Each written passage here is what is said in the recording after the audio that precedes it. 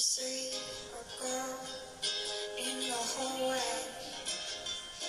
And then you whisper to your friend, who is she anyway?